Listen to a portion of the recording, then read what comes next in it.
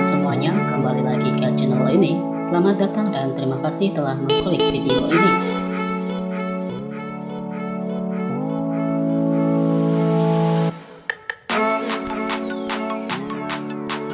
Saat Marek menemani Daniel belanja, Daniel menanyakan tentang orang tuanya Marek. Marek memberitahu peranglah yang memisahkan ia dengan orang tuanya. Ia juga menceritakan sebuah musibah dan juga tragedi pahit yang menimpa keluarganya. Daniel merasa prihatin dan sedih mendengarkannya. Ia penasaran dan bertanya apa maksudnya Marek. Tapi pertanyaannya seolah dia kurang percaya dengan ceritanya Marek. Marek terlihat kesal dan memberitahukan bahwa nama aslinya adalah Ruslan dan bukanlah Marek. Kembali ke rumah, Daniel memanggil Ruslan dengan sebutan Marek. Ruslan mempersoalkan hal itu dan berkata Daniel sama sekali tidak mempercayainya. Daniel sedikit kesal meski ia sudah meyakinkan Ruslan bahwa ia telah mempercayainya. Tetapi Ruslan tetap saja kurang yakin dengan jawabannya itu. Malam sebelum mereka tidur, Ruslan sudah siap-siap untuk bercinta. Tetapi Daniel berkata untuk melewatkannya karena dia merasa capek. Ruslan bersikeras kepadanya, sehingga Daniel sedikit marah dan menyebutnya seperti anak kecil. Dia pun langsung tidur. Karena hal itu, dalam beberapa hari, Ruslan tidak memberi kabar kepada Daniel. Daniel khawatir dan menelponnya. Saat Ruslan kembali, ia terlihat sedikit ketakutan dan kelelahan. Ia memberitahukan bahwa teman-temannya telah mencurigainya dan tidak senang melihatnya hidup dengan barang mewah yang ia miliki dan dapatkan dari Daniel. Daniel langsung membawanya beristirahat di ruang kantornya. Esoknya, Ruslan meminta untuk kembali bersama teman-temannya. Daniel mengkhawatirkannya dan sempat menahannya, tetapi Ruslan tetap saja ingin pulang. Daniel menatapinya sampai jauh dari atas balkoninya. Beberapa bulan kemudian, Daniel menyarankan Ruslan untuk mencari pekerjaan.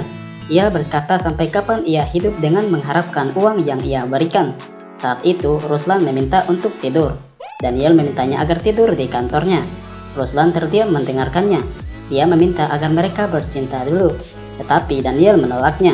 Ruslan pun beristirahat di tempat tidur yang telah disediakan buatnya. Ia sedikit kesal dan kepikiran mengapa Daniel tak ingin bercinta lagi dengannya. Tengah malam, Ruslan terbangun ketakutan seperti baru saja mengalami mimpi buruk. Bunyi ledakan kembang api juga terdengar dari luar.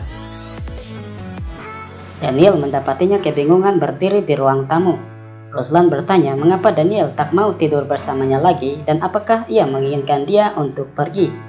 Daniel menjawab bahwa dia hanya tak ingin mereka tidur sekamar dan menginginkan Ruslan bisa hidup lebih mandiri. Ruslan berkata bahwa tempat tidurnya itu tidak layak. Daniel berjanji akan membuatkan kamar baru untuknya. Daniel juga berkata tidak akan membayar Ruslan setiap bulannya, melainkan hanya memberikannya uang saku saja. Sekalian, ia juga meminta agar Ruslan tidak kembali lagi menemui gengnya. Ia tak ingin dirinya dan Ruslan dihantui oleh teman gengnya itu. Ruslan pun langsung memeluk Daniel. Esoknya, mereka langsung membuat kamar baru buat Ruslan. Daniel meminta agar Ruslan pindah dan tinggal bersamanya. Dia meminta paspornya Ruslan, tetapi Ruslan berkata bahwa paspornya ditahan oleh bosnya dan mereka tinggal di sebuah hotel murah yang lumayan jauh dari pusat kota itu. Ruslan kembali ke hotel di mana dia tinggal bersama teman-temannya dan juga bos dari gengnya sebuah hotel sederhana yang juga dijadikan sebagai penampungan layanan sosial. Saat Ruslan tiba di sana, bosnya langsung menyuruh dia untuk membelikan susu buat bayinya. Ruslan pun masuk ke kamarnya dan langsung diminta untuk menjaga bayinya itu. Sementara bosnya dan istrinya pergi untuk mandi. Ruslan pun langsung mencari kesempatan untuk mencari kunci loker di mana bosnya itu menyimpan semua berkas-berkas dan juga pasportnya. Tanpa dicurigai, istri bosnya pun kembali ke kamarnya dan meminta Ruslan keluar. Ruslan pergi ke kamarnya dan langsung menelpon Daniel untuk datang. Tapi anak kecil yang sekamar dengannya mendengarkan pembicaraan itu. Ia langsung memberitahukan hal itu kepada bos mereka. Saat semuanya makan siang, Ruslan langsung pergi menuju ruang loker dan melewatkan makan siangnya. Saat itu, bosnya sudah sedikit curiga karena sudah diberitahukan anak kecil tadi. Ruslan langsung cepat-cepat namun kewalahan untuk menemukan nomor loker rahasia itu. Resepsionis hotel sempat terganggu olehnya. Tiba-tiba bosnya pun muncul. Karena di depan resepsionis, bosnya bersikap lembut terhadap Ruslan dan langsung membawanya ke sebuah kamar yang telah mereka sewa di hotel itu, di mana mereka menyimpan barang-barang rampasannya. Ruslan dibawa masuk bersama dua komplotan lainnya. Sebelum menghajarnya, bosnya melepaskan jaketnya Ruslan dan mengenakannya. Ia menemukan kunci apartemennya Daniel dari sana dan melihat panggilan dari Daniel di HP-nya Ruslan. Ruslan pun langsung dihajar dan disekap di kamar itu. Perbuatan mereka sempat dicurigai oleh salah satu staf di hotel itu. Tak lama hari itu juga, Daniel mendatangi hotel itu untuk mencari Ruslan, menanyakannya kepada resepsionis hotel itu. Namun resepsionisnya tidak menemukan nama yang diberikan oleh Daniel karena identitasnya kurang jelas. Daniel akhirnya memutuskan untuk menginap di hotel itu. Kamarnya tepat selantai dan tak jauh dari kamar di mana Ruslan disekap. Mereka sempat mendengar suara erangan Ruslan, tetapi resepsionis itu mencoba menenangkan Daniel, meski si resepsionis merasa curiga juga. Setelah berkali-kali mendengarkan erangan itu, Daniel menelpon resepsionisnya kembali dari fasilitas telepon di kamarnya. Ia meminta agar resepsionisnya membantu ia memeriksa kamar itu. Namun resepsionisnya menjawab bahwa kamar itu dipegang oleh pihak layanan sosial yang bukan tamu hotel itu. Si resepsionis menyarankan untuk melaporkannya ke pihak layanan sosial. Tetapi Daniel menolaknya karena takut mereka semua akan diperiksa dan dikembalikan ke negaranya masing-masing, termasuk Ruslan.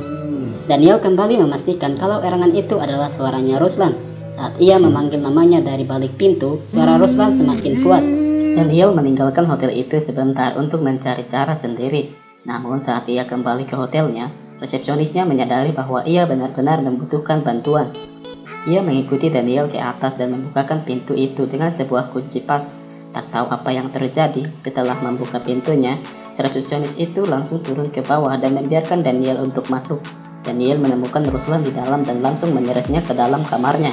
Berselang semenit, anak buah bosnya tadi kembali dan mendapati Ruslan tidak lagi di kamar itu. Mereka pun langsung melaporkan bosnya. Bosnya menanyakan salah satu staf pria yang berada di lantai itu. Ia bahkan berani menonjoknya karena tak mengetahui hal itu sama sekali. Daniel dan Ruslan mendengarkan hal itu dari dalam kamarnya dan sedikit panik. Akhirnya, Daniel menelpon polisi untuk datang ke sana.